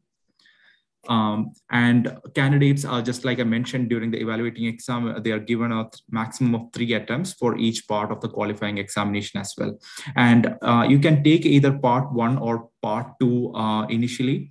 Uh, so there is no restriction of whether you have to qualify part one first before going into part two. Uh, irrespective of that, um, if you're passing part one, you can go ahead and take part two, but that part two, part two should be completed within three years of completing part one. If not, uh, even if you have been successful in part one, you have to go back and take part one before you can take part two. Next, uh, next slide, please. So once you have completed all this qualifying examinations, evaluating exam document evaluation, once all these PEBC steps are completed, uh, the Pharmacy Examining Board of uh, Canada, they will provide you with a certificate of registry, a certificate of qualification. So once you have that certificate of qualification and you also have a license uh, or language proficiency score from IELTS or TOEFL, you'll be eligible to uh, register as an intern with the uh, College of Pharmacy. Um, so College of Pharmacy, uh, like I mentioned, uh, from this process onwards, it's different for each province. So I'll be discussing um, over the next three or four slides regarding what is the licensure process in the province where I'm currently licensed, that's Manitoba. So we make a formal application to the College of Pharmacists of Manitoba here. And uh, the internship, what it uh, involves is like uh, you are practicing for a total duration of uh, 600 hours once approved by the college. Uh, so you'll be finding out pharmacists, uh, you'll be seeking pharmacists who are willing to act as your mentor. So they'll be evaluating you over the span of 600 hours. So every 200 hours upon completion, they'll be uh, sending an evaluation report to the College of Pharmacists. And once you've successfully completed this 600 hours, then uh, you'll be able to register as a, a fully licensed pharmacist with the college. But at 200 hours, that's when uh, the College of Pharmacists of Manitoba, as soon as your preceptor provides a certificate of um, a document of completion of 200 hours, you will be eligible to appear for the jurisprudence examination. Next slide, please. Uh, next slide. Thank you. So jurisprudence examination, it's a law exam which is specific to each province irrespective of which province you are licensed in, if you're moving to a different province, if you want to practice in a different province, you need to complete the jurisprudence examination of that province before you can start practicing as a pharmacist, or you can apply to that College of Pharmacy to be fully licensed as a practicing pharmacist in that province. So it comprises of rules and, rules and regulations that are specific to that province. Um, the laws that are common to Canada is primarily evaluated during your qualifying exam. This one will test more of the province specific regulations, the um, bylaws for that prov- province's pharmacy act and pharmacy regulation. Uh, like I mentioned, uh, in Manitoba, as soon as you complete 200 hours of internship, you will be eligible to appear for the jurisprudence examination. And uh, another requirement to appear for the jurisprudence examination is completion of a jurisprudence module that is hosted by the University of Manitoba Continuing Farmers Professional Development website. So this examination, it's offered once a month and it's a three hour online live proctored examination and it's multiple choice format. Um, so if you get 70% or above in this examination, uh, you will be uh, deemed as uh, have passed the jurisprudence examination. And upon completion of the 600 hours of internship and a positive feedback or positive evaluation report from your mentor uh, would uh, mean that you can be you can now apply to the College of Pharmacists to be a fully licensed pharmacist in that province. So this is specific to Manitoba. Over the next couple of slides, Alice will take you over the province-specific requirements of Ontario College of Pharmacists. Thank you, Dr. Abin Chandrakumar. Really detailed uh, way of uh, getting through the licensing procedure in uh, Canada. Uh, so uh, Evan has discussed uh, the requirements for Manitoba. So it's the exact same steps till the clearing of PEBC exams. And then you register with the um, Ontario College of Pharmacists. So they have the Manitoba College of Pharmacists. Here we have the Ontario College of Pharmacists. So that is the uh, our body that regulates our activities here. So once you register as a student with the Ontario College of Pharmacists, there are two uh, ways that you can um, progress from here. If you had completed your qualifying exams in the first setting, then you go through the PACE program, which is Practice Assessment of Competency at Entry. So um, it measures your, are you ready to practice as a pharmacist in this province? So it's a 35 hours. So you find a PACE site. So there should be a preceptor, a pharmacist preceptor who is ready to take you on. And then um, the, it's about uh, a, a, month or two of uh, duration where the first week is kind of an orientation week. And then the following two three weeks you will be like 70 hours in total. You will be uh, practicing as a pharmacist uh, under the um, um, this preceptor.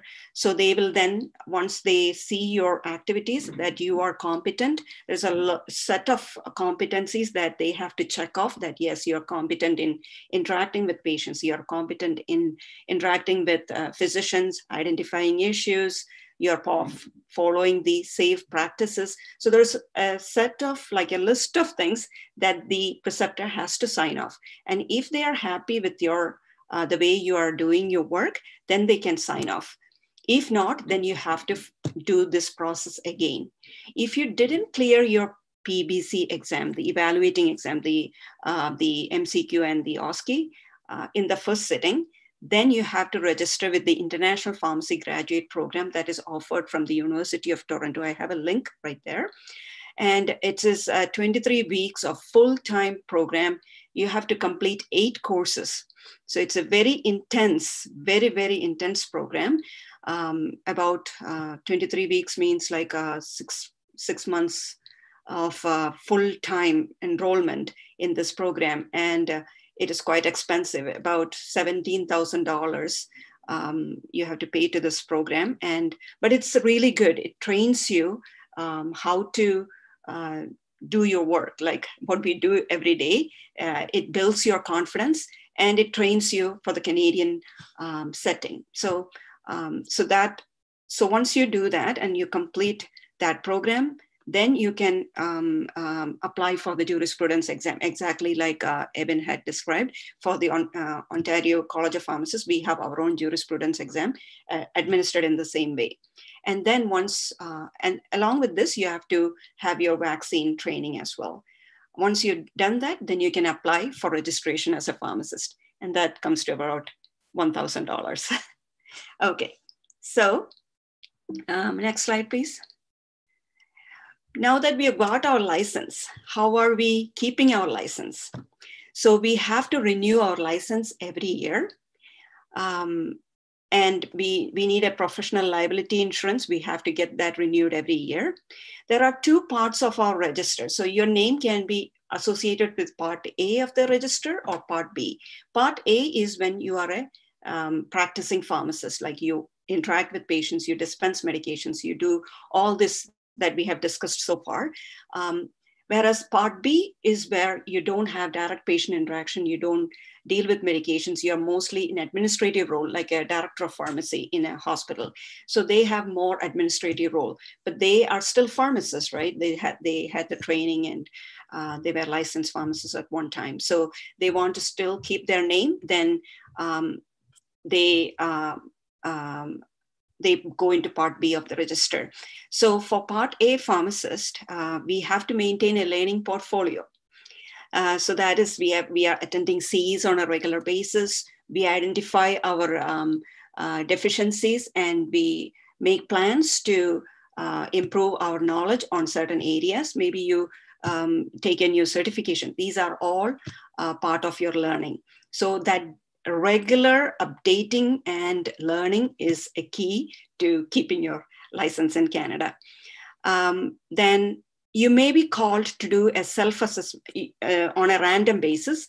They may send you a set of questionnaire that you have to um, submit. Just like an exam, you will be going through a case and identifying the issues and marking off ABC, like whatever options are appropriate. Or uh, they may also even call you to do a practice assessment, just like the OSCE that Abin had mentioned during the OSCE exam. We practicing pharmacists may also be asked to go back and do a practice assessment. So we will have a standardized patient, an assessor, and we will be given a case and we will be dealing with the case and they will look at are we competent and uh, strong in our area in dealing with that case.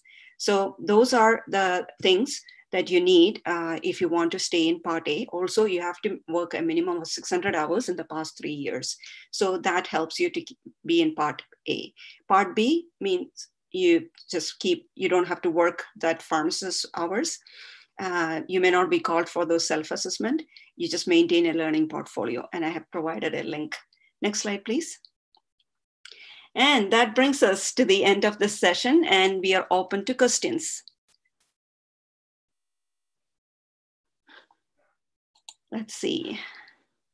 So we have a question here um, from Poini Sujadan. Um, sir, is IELTS mandatory for registering as a pharmacist in Canada? If yes, can you please mention the required score? I think Abin, you can take that question. Uh, so um, initially, when you're starting the PEBC process, you don't need to complete a language uh, assessment. Uh, however, when you're registering for the provincial regulatory authority, uh, so at, that's the point when you need to complete or provide them with a language assessment score. So IELTS, um, I know from the back of my mind that it's six uh, six is the band score that's needed. Uh, each band needs to be six or above and the total band score needs to be uh, seven or above. And it is ielts academic that you need to take not ielts general.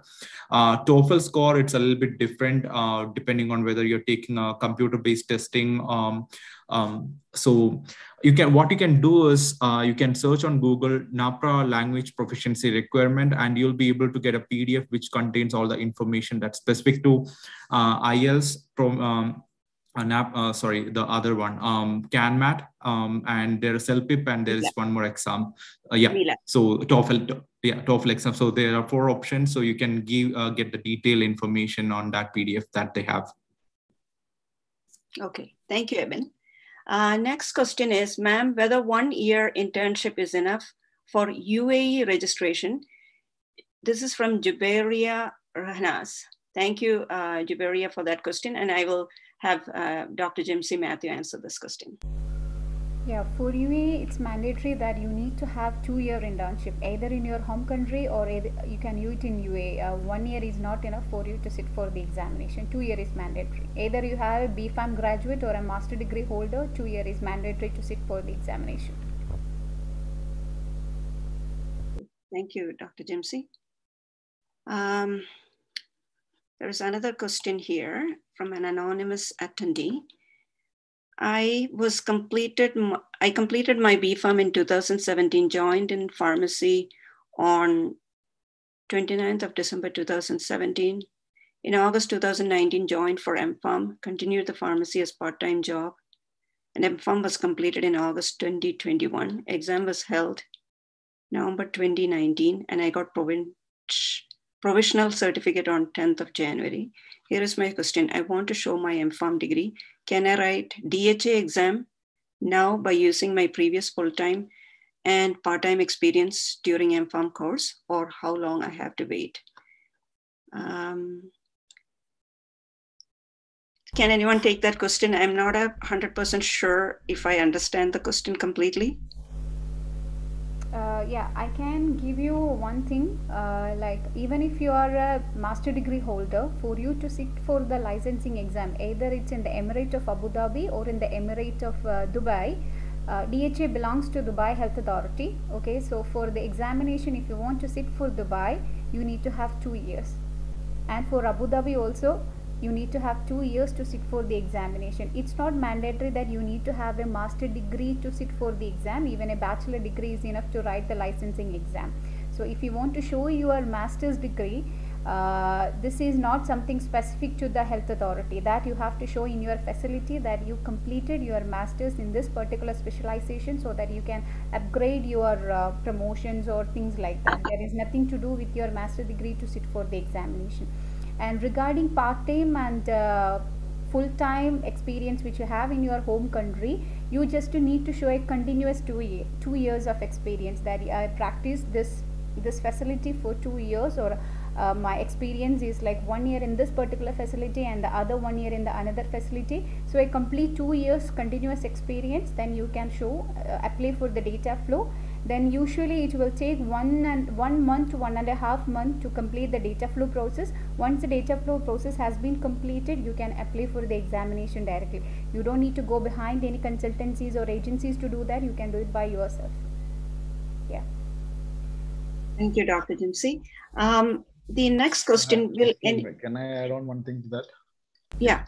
Oh so yeah in, kerala you don't allow actually to do part-time courses while part-time job when pursuing a post graduation uh, so uh, means university does not allow that uh, so in, in india that is not allowed actually okay so that okay. not be counted as an experience as far as it should be a continuous working. experience and it should be directly from your uh, employer and it should be signed in an official template and because uh, UAE is an authority which will scrutinize all the certificate not only at the time when you are sitting for the examination but at the time when you are renewal. If you are changing your facility or if you are changing your employer from one facility to another facility you have to do the data flow sometimes again.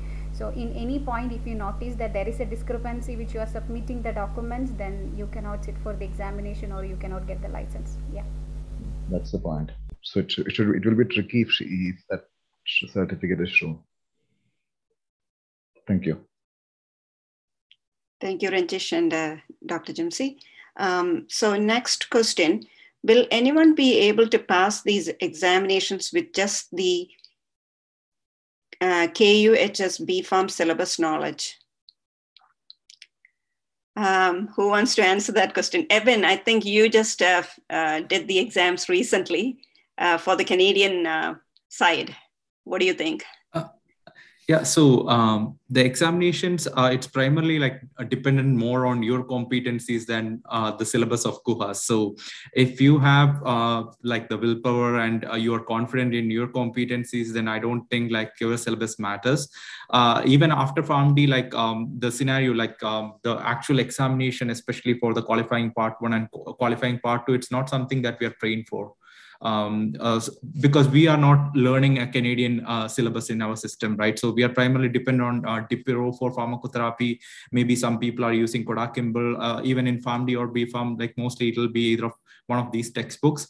Uh, so the Canadian context, it's different. So uh, the primary references are uh, two books called uh, Compendium of Therapeutic Choices and Compendium of Minor Ailments. So ultimately, if you put that effort, um, it's not an easy process. It's not like a one or two exam process. It's a process that will take at least one and a half to two years in total. So if you're committed to that, um, I'm, I'm sure, certain that uh, irrespective of the syllabus that you've completed, you're going to pass the exam. And besides, um, we I'll all, that, uh, Dr. Alice. yes, hi. Yeah, the thing is that we cannot blame the syllabus. Uh, Exactly. Like before this KUHAS, we have that uh, University of Kerala, Calicut, and all. And that's why Dr. Alice and all of the Dr. Abin are there. Exactly. Not the syllabus make you to get a job, but you need to try hard. Exactly. That is, I was going to mention that. Thank you for mentioning that, uh, Dilip sir. Uh, exactly. Like it's it's your willpower, and as uh, Dr. Abin mentioned, you have about one to two years uh, to do this whole process. So um, you have the basic training, you have the basic knowledge, then you refer, you focus and study what is needed for these exams. Uh, as Dr. Abin mentioned, for us, it's the therapeutic choices and the minor ailments uh, textbooks. Plus, you've learned DiPiro, uh, you've learned Koda-Kimble. These are like the basics. And that from there, you can just narrow down and focus on these exams. And maybe uh, Dr. Jimcy, uh, how, how are the uh, processes there? Like, uh, it's like more or less uh, process are easy uh, to get into the exam is easy but to prepare for the examination is a bit hard as sir mentioned it's not like i i had i completed my bachelor's in kerala university and i completed my master's in kuhas i was the first batch in kuhas so it's not the syllabus that uh, allow you to sit for the exam it's your determination that i need to achieve that position or i need to reach that goal then only you will work hard so for me, I had my uh, licensing exam in the year 2014. So I took almost six months to sit for the examination. I was uh, clearing the first to last page of Lippincott and DiPiro to finish and sit for the examination. So all the exams are tedious. You cannot get all these heights within one second or it's not an easy process. You have to go through the struggles. You have to sacrifice something. You have to sacrifice your family time. So many things are there. So it's uh, it's it's nothing like UAE or Canada to achieve a goal you have to work hard for that Thank you, Dr. Jimcy. Uh, exactly. The willpower and the determination. That is the key. Uh, we are all stressing on that. Um, and then um, the next question How difficult are the PEBC exams and is coaching required? Maybe Dr. Abin can uh, give us an answer to that. Coaching is Yeah, needed or so not? uh, coaching, yeah. Uh, so in my case, evaluating exam, it's more of like this. We need a coaching um, or a prep course for that. I didn't take any prep course for the evaluating exam, but once it gets to a qualifying examination, because uh, this even the students here, the Canadian graduates, even they are going for the prep courses. So uh, it's not like a straightforward, very easy exam because it's going to test your uh, application level knowledge. Um, uh, like um, with respect to the Canadian guidelines. Um, so if you can like go through company like the two books that I mentioned and also compendium of pharmaceutical specialties, so three books actually. If you can go in detail and you have, you have like plenty of time and uh, you're confident with self preparation, uh, like you you could go ahead and try that. But uh, most of the times, I would say at least 90% of the international graduates who are appearing for the exam, they would have taken a prep course. So some of the prep course that I can uh, mention here. Um, it's PharmAchieve. I'll, I'll type those uh, as answer to the questions um, to get the spelling right. So one is PharmAchieve, another one is Pharma Spirit, and then there is a SolarX course. And another one as well, which students usually take for evaluating exam, uh, it's called MISBA, but I don't know how good it, it is for uh, uh, qualifying examination because my friends, they are mostly taken the other three courses. I think Mishpa has been there for a long time. I think when I Yeah, they've been there for, yeah, they're still there. yeah. Um, yeah, I think the training will help with the um, the clinical exam, the OSCE. I think that because that confidence to develop that confidence, I think some of these training programs will help. Also, yeah with and the, also Uh, yeah, sorry, just to interrupt. Uh, OSCE, the thing is, um, if you're practicing with someone, you know, it's not the same scenario in the examination. You're go going to like meet a total stranger there. So it's best that you take a prep course where you have to like uh, uh, discuss the same scenario in front of like a larger audience. So you, you'll lose those inhibitions that might be there, which is one of the major hindrances when taking this kind of examination that uh, um, like uh, in a live way, they, they're one is they are testing your confidence they are testing your language. So um, these prep courses they give you that opportunity to discuss it with total strangers. So that is a really important thing with these prep courses especially for the OSCE yeah. And also the uh, the PEBC website i think you have given the link to the PEBC website. They have sample videos i think just some sample just to see an outline i believe. Abin it yeah yeah. so P- yeah their website does have uh, uh, like uh, the sample question papers as well as uh, sample OSCE stations. And also they have given a blueprint of how these sample stations are getting assessed so you'll be able to see a checklist of things that an assessor will be given. So a pharmacist will be acting as assessor will be having this checklist and they'll be going over each point. So PEBC yes they have given it in a detailed way uh, with three or four cases on their website. Even uh, YouTube, if you search um, uh, OSCE sample stations, you'll be having some of this video from uh, all these um, prep course administration organization. They have their own sample videos that you can see in addition to the PEBC one. Okay. Um, next question, anonymous attendee. How much does a hospital pharmacist earn in Canada? Is it a good profession? it's absolutely a very good profession. and earning um, close to $100,000 a year. But then half of it goes to uh, the government as tax. you make more, you, you, you give it back to the government, but we have free healthcare. So I think those are the uh, questions, and Dr. Abin has answered, um, put the link for NAPRA. Yeah, and I've answered another one as well now. Okay, okay. I think that's the end of the questions, and maybe. Can I? Okay. So that's the. So that's. Ms. Shahana is having question. Okay, I'll, I'll may I call? Okay. Then now may I call a student representative, Ms. Shahana K from College of Pharmaceutical Sciences, Government TD Medical College, Alappuzha uh, to express their viewpoints about this webinar as well as to ask any questions directly to the panel members. Shahana, are you there? I'm here. Shahana, yeah, okay, go on. Thank you. So, uh, good evening. Uh, just a great session actually, and it was really informative. And uh, we get to know many things as a future pharmacist or as a pharmacy student, like uh, those who wish to work abroad uh, it's a really informative session. That means in Canada, UAE, every procedures and process was explained really well in this session. So uh, I think it's very useful to us students. Mm, and so some of the main uh, doubts that came up in the mind of some students are already explained through some of the questions in this Q&A session. So uh, Dr. Alice Madam, Dr. Jimcy Madam, uh, Dr. Ebinsa and Dr. Vishnu sir, everyone here. Uh, it was a good session. Thank you. Thank you so much. Can I ask one small doubt to Dr. Alice, please?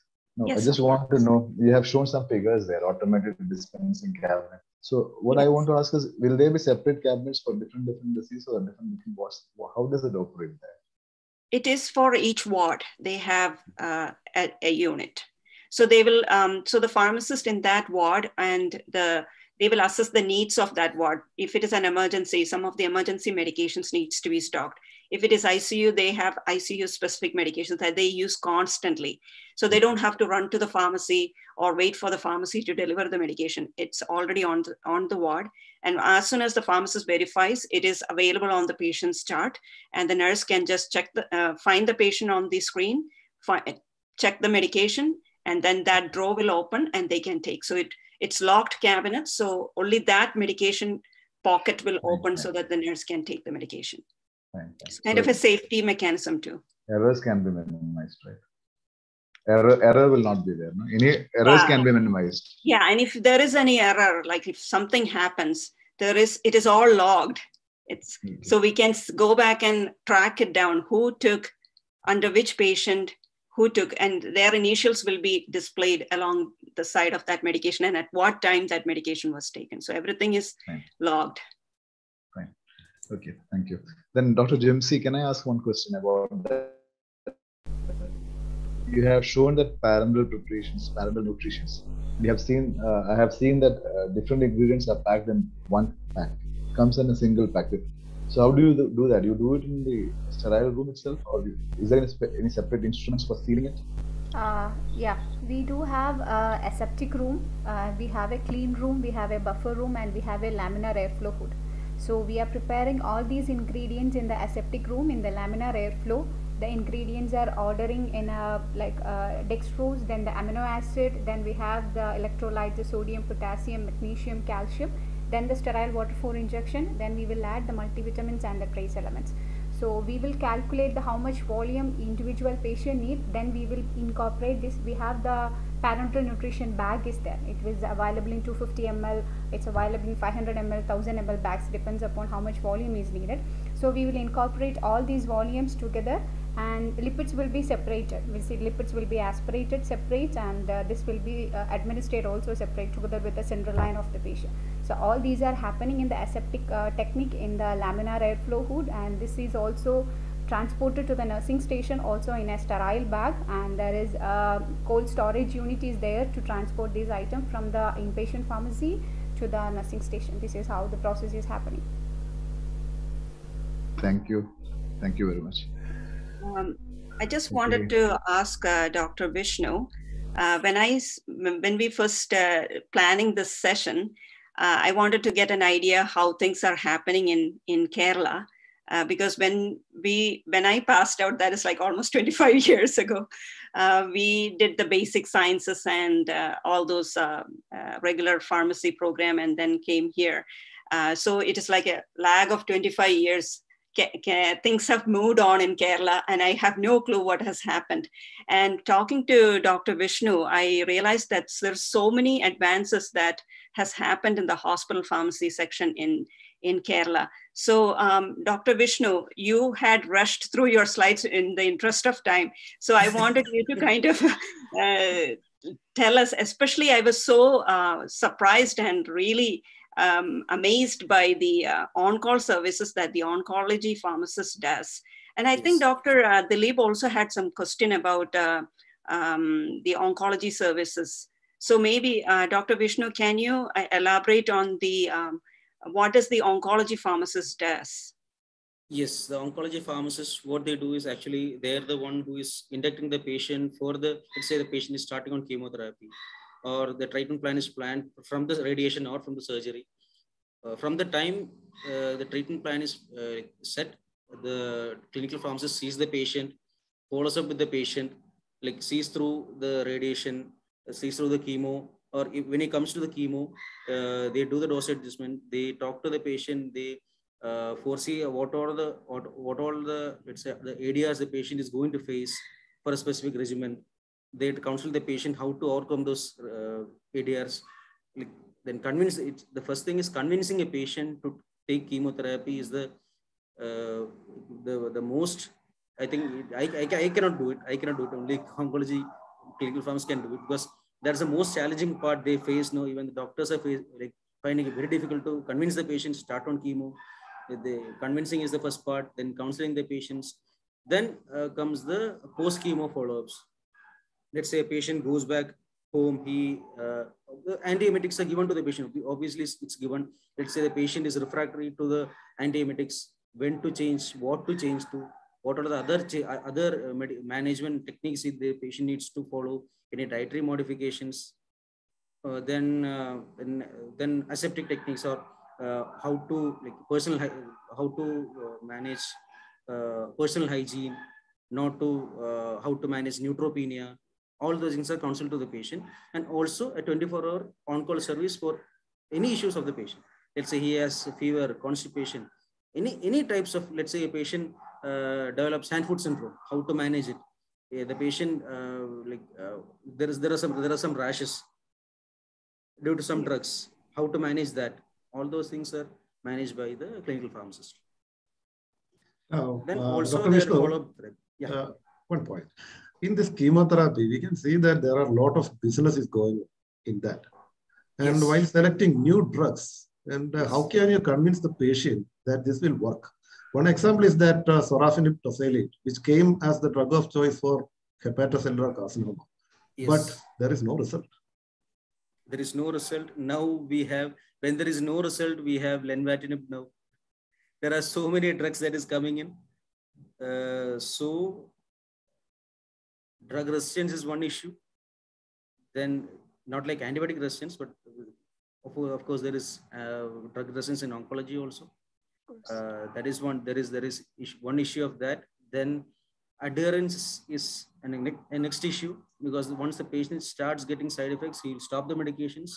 But we never know. Well, we never know whether the patient stop the medications or not. The patients are not. Uh, means that is the actual thing that is Yeah. happening. The patients are not uh, like sometimes they don't stick to their word. Uh, then Uh, next I thing was- is upcoming. I was trying to highlight that when selecting this new drug, there is a high responsibility for this clinical pharmacist yes, that is to there. equate That all these there. things. Yes, yes, yes. That is there. They also help in drug selection. Also, maybe the, the chemo regimens are set for the diseases. As you all know, chemo regimens are set. Uh, tweaking that for a specific patient is the responsibility of the clinical pharmacist. And even selecting, let's say, for the same uh, for the same disease, there will be radiation. Let's say for osteosarcoma, there is uh, chemo, there is chem- chemotherapy involved, there is radiation involved, and tweaking that for a patient, let's say a patient above 60 years, he can't travel like uh, 120 kilometers every week for radiation or every week for chemo. So selecting an oral for that patient will be ideal for that patient. So that decision can be uh, like done by the clinical pharmacist, or that can that that can be done with the support of the clinical pharmacist. Tweaking like personalized therapy, we come in. I think I have an- answered, sir. Is that Yeah, it's great. Yeah, sure. And you mentioned about bone marrow transplant, uh, Dr. Vishnu. yes? Can you just uh, give us a little bit of a bone idea? marrow transplant is yet another uh, yet another like uh, high value treatment where, where costs around 25 to 30 lakhs given everything goes perfect so uh, inducting a patient or counseling a patient to do a bone marrow therapy what to do before bone marrow therapy and what will be the course of treatment what is expected out of the bone marrow. All these are done by all this counseling is done by a clinical pharmacist. And once the patient comes in comes in calculating the bmi and adjusting the dosage of each each of the regimen for the uh, uh, transplant all this is done by and also the counseling for the donors. Let's say uh, if there is a donor involved uh, counseling don- donors is also done by the pharmacist clinical pharmacist. Uh, then ah, that's it. I think uh, that's it. And That's also the also the follow-up treatment, just like oncology hematology also uh, we handle hematology and oncology separately medical oncology and hematology separately. The same services we provide for uh, hematology also. Last time last time when i went to the department my, actually one of my close friend is working there uh, I went to see him, and the secretary is like telling me there are some patients who just needs to see Dr. Shyam. So is the king from there. Okay, Shyamine Kandamadi, Dr. Shyamine Kandamadi, they're happy. They're happy. They see, ah, Shyam Sara Baranyamadi, I'm happy. So it, it has come up to that level where the patients yeah. are very, like, uh, they don't need to see the doctor every time they come. See, okay, Dr. Shyamine Kandamadi, I need to talk to him only. So he's, they're happy. So that was a very, like, i was surprised because that coming Yeah. that, that too coming from the that too coming from the doctor's secretary is something Very to good. be proud of yeah something Yeah, to proud really of. proud that we have come a long way. yes, yes, um, yes. in our discussions, like there was uh, concern that there is not much of remuneration. A lot of work that Dr. Vishnu does, like the compassionate access program, patient support program, there is no remuneration for that. We do it extra. But what I was thinking is we have to prove that's the only way we can prove our value. Yes, Once we prove our value, then the remuneration will come after that yes like initially there's a a- again the pharmacists here they were not recognized like in canada like a long time ago pharmacists were just compounders, uh, just uh, dispensing the medication without talking to the patient. So we have come a long way. And India is making a huge advance uh, listening to Dr. Vishnu. Like a lot, pharmacists are coming to the forefront, especially uh, this uh, story about Dr. Uh, Sham. and just see that person to get your issues resolved. So that's really great. Um, That's it, uh, Dr. Alice. One more thing. Uh, India may not be compared with the Western countries in the level of clinical pharmacy and hospital pharmacy. That's right. But one uh, in Kerala, uh, Kerala is the first state in India to introduce a Kerala antibiotic resistance strategy plan. That was in 2018. And Kerala is the first state in India. Very I proud think of Dr. Sanjeev of I think Dr. Sanjeev of Amrita was also very active in that in the initial stages. Now he is in Faridabad, Delhi. Oh, He's in a Delhi. Yeah, yeah. That was that was a very great team working working on that.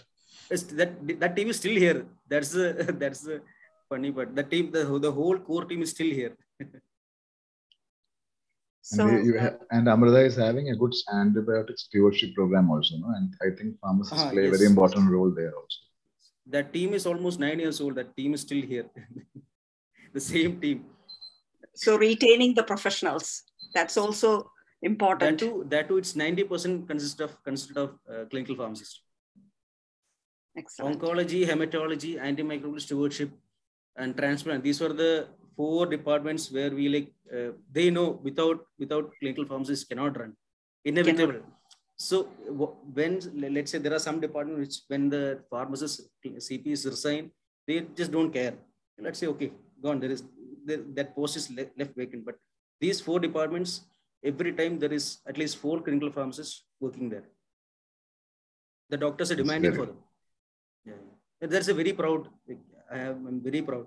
And uh, in pharmacy purchase or pharmacy administration, I was the only clinical pharmacist there. I had one supporting pharmacist with me. Now we are a team. We are team team of four now. Then we took in two more, three more people from the College of Pharmacy, so that uh, we expand the team, and they're very happy with us. Very proud to say. That. So, uh, uh, Mr. Um, I mean, Ranjish and uh, Dr. Dilip, uh, how are we concluding? Is it, I, I don't see any more questions. So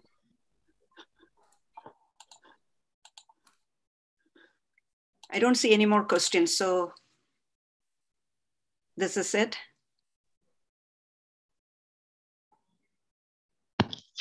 Able to see Ranjish. Ah, yeah. Ah, yeah, yes, yes. I have, I lost connection in between. Prashant called me in between my connection got disconnected. So I think we'll we'll wind up for now. Okay. Thank you.